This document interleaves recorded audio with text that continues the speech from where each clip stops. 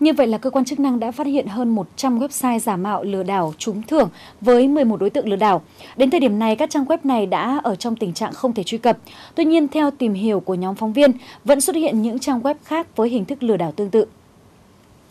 Đối với những trang web trong danh sách lừa đảo mà lực lượng chức năng vừa phát hiện như cộng đồng mạng xã hội.com, sự kiện vàng vn.com đều không thể truy cập. Một số địa chỉ khác như dịch vụ quà.com đăng thông tin cảnh báo đến người sử dụng. Tuy nhiên, những người sử dụng mạng Internet vẫn có thể nhận được tin nhắn trúng thưởng từ các website khác như là dưới danh nghĩa là công ty Facebook Messenger và công ty Honda Việt Nam. Tin nhắn hướng dẫn cho người sử dụng vào website của chương trình là thủ tục giải.com để nhận thưởng.